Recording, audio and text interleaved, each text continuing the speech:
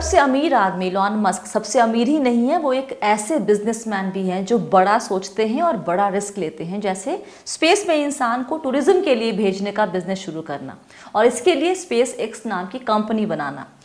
Twitter को खरीदना, ये सब उनके कुछ ऐसे कदम हैं जिनकी वजह से वो हमेशा चर्चा में रहते हैं। अभी तक जो भी उन्होंने किया है, उसमें वो सफल भी रहे हैं। उनके जैसा बनना तो बहुतों के लिए सपना है। उनके जैसे हम बन पाए या नहीं, लेकिन उनसे बहुत कुछ सीख सकते हैं। आज के वीडियो में हम यही जानेंगे कि हम इलॉन मस्क से निवेश के मामले में क्या सीख सकते हैं। यानी हमेशा की तरह हम ऐसा कुछ बताने जा रहे हैं, जिसका इस्तेमाल करके आप अपने अमीर बनने के सफ़र में मंजिल तक जल्दी पहुँच सकेंगे। तो एक निवेशक को इलॉन मस्क से सबसे पहले क्या सीखने को मिलता है? इनोवेशन यानी नएपन की खोज। इलॉन मस्क हमेशा नया करने की सोचते हैं। चाहे बिजली से कार चलाने की बात हो, जिसके लिए उन्होंने टेस्ला को खड़ा किया, या फिर अंतरिक्ष में आम इंसान को भेजना हो, या फिर तेज़ रफ्तार से ट्रैवल करने के लिए हाइपर लूप बनाने की बात हो। एक निवेशक के तौर पर हम आप क्या कर सकते हैं? ऐसी कंपनियों या इंडस्ट्री को तलाश करें जो कि नया काम कर रही हैं। पुरानी समस्याओं का नया हल निकाल रही है और दुनिया में बदलाव ला रही है।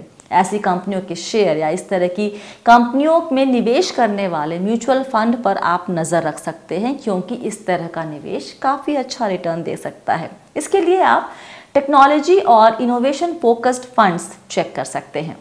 इलॉन मस्क से सीखने वाली दूसरी चीज़ है लंबे समय का नज़रिया। वो कोई भी काम छोटे समय के लिए नहीं करते। जैसे टेस्ला को स्थापित करते समय या हाइपर लूप प्रयोग का प्लान करते समय उनका नज़रिया पैसा कमाने से ज़्यादा ये रहा कि दुनिया को कम पोल्यूशन वाला ट्रांसपोर्ट सोल्यूशन दे, जिससे लंबे समय में दुनिया में पोल्यूशन कम हो सके। आप जानते हैं कि निवेश के लिए ये एक बहुत ही ज़रूरी बात है कि आपका नज़रिया लंबे समय का हो और नज़र लक्ष्य पर।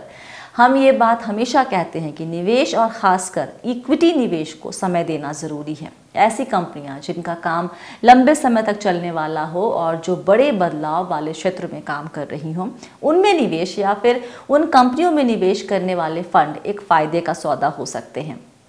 तीसरी सीख निवेश के पहले खुद जानकारी जुटाना। आपने, हमने, सभी ने देखा है कि कैसे ट्विटर में निवेश के पहले मस्क ने खुद उसके हर पहलू को जांचा परखा और एक बार बात पक्की हो जाने के बाद भी तब तक सौदा नहीं किया, जब तक कि उनको कंपनी के कामकाज की पूरी जानकारी नहीं मिल गई। और उनकी इसी जाँच परख का नतीजा था कि आते ही उन्होंने ट्विटर से काफ़ी छटनी कर दी। इस तरह से स्पेस एक्स को शुरू करने के पहले उन्होंने रॉकेट साइंस और रॉकेट इंजीनियरिंग की पूरी पढ़ाई की और टेस्ला के पहले कार की बैटरी पर जानकारी जुटाई। आप जानते ही हैं कि बी वेल्दी हमेशा ये बताता है कि आप इस चैनल से या फिर कहीं और से भी जानकारी लीजिए, सीखिए और फिर उसके बाद निवेश करने का खुद से फैसला कीजिए। चौथी सीख, रिस्क लो, लेकिन उसको मैनेज करना जानो। आप जानते ही हैं कि रिस्क लेने के मामले में इलॉन मस्क काफ़ी आगे रहते हैं, जैसे स्पेस टूरिज़्म का बिज़नेस एक बहुत बड़ा रिस्क था। इसी तरीके से घाटे में चल रही ट्विटर को खरीदना भी एक रिस्क था। यह किस्सा मशहूर है कि स्टैनफोर्ड यूनिवर्सिटी में दो दिन बिताने के बाद ही वो कॉलेज छोड़ गए और अपना काम करने के लिए कंपनी बना ली, जिसका नाम था जिप टू कॉरपोरेशन सोचिए, दुनिया के सबसे नामी यूनिवर्सिटी को छोड़ना, जहाँ एडमिशन के लिए लोग बेइंतहा मेहनत करते रहते हैं। लेकिन वो अपने रिस्क को बहुत अच्छे से मैनेज करते हैं। मस्क ने कंपनी बनाकर अपना रिस्क मैनेज किया। बाद में उन्होंने उस कंपनी को बेचकर दूसरी कंपनी बनाई और फिर उसको बेचकर पेपैल बनाया। वहाँ से मिले पैसे से टेस्ला और स्पेस एक्स वो पहले से ही तैयारी करके रहते हैं कि अगर कुछ गड़बड़ हो जाए तो उनको क्या करना है। और इसलिए प्लान के आगे पीछे होने पर भी वो चीज़ें संभाल लेते हैं। एक निवेशक को भी पता होना चाहिए कि अगर कुछ गड़बड़ हो जाए तो संभालना कैसे है और कब बैकअप प्लान पर जाना है। पांचवी सीख लगातार पढ़ाई लिखाई, इसके बिना कुछ नहीं होता। आपको लगातार अपना नॉलेज बढ़ाना ही होगा। इलॉन मस्क इस मामले में काफ़ी आगे हैं। वो हमेशा नई चीज़ से जानने और समझने की कोशिश करते हैं और जो जानते हैं, उसमें भी जानकारी बढ़ाते रहते हैं। इलॉन मस्क जब छोटे थे, तब से उन्हें पढ़ने का शौक था। नौ साल की उम्र में वो पूरी इंसाइक्लोपीडिया ब्रिटानिका पढ़ गए थे। वो एक वक्त पर दिन में दस घंटे पढ़ते थे।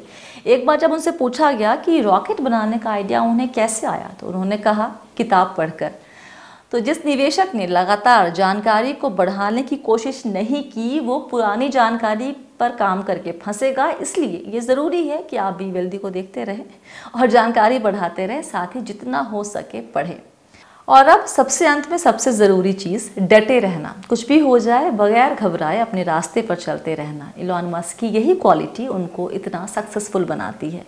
वो लोगों के कहे को सुनकर अपना रास्ता नहीं बदलते हैं और ना ही इस बात की परवाह करते हैं कि इस तरह का काम कभी किया गया है या फिर नहीं। वो पढ़ते हैं, जानकारी जुटाते हैं और फिर एक प्लान बनाते हैं, फिर उस पर अमल करते हैं और बीच में भागते नहीं हैं या भटकते नहीं हैं। हम सबको पता है कि स्पेस एक्स के कई रॉकेट फेल हो गए, लेकिन मस्क पीछे नहीं हटे। उन्होंने टीम के साथ डिज़ाइन पर फिर से काम किया और अंत में एक सफल लॉन्च करने में सफल हो गए। एक निवेशक के लिए भी सबसे ज़रूरी है कि वो बाज़ार के उतार चढ़ाव से घबरा कर भागे नहीं, बल्कि अपने प्लान पर डटा रहे। तो आपने देखा कि कैसे एक निवेशक इलॉन मस्क से बहुत कुछ सीख सकता है और अपने निवेश से बेहतर कमाई कर सकता है। फ़िलहाल के लिए इतना ही। वीडियो को लाइक और शेयर करें और वी वेल्दी को सब्सक्राइब याद रखें, आप हैं मेरे यानी स्वाति के साथ और हम सब हैं बहुत ही सावधानी और समझदारी के साथ अमीर बनने के सफ़र पर अपना वक्त देने के लिए बहुत बहुत शुक्रिया। Stay blessed healthy and be wealthy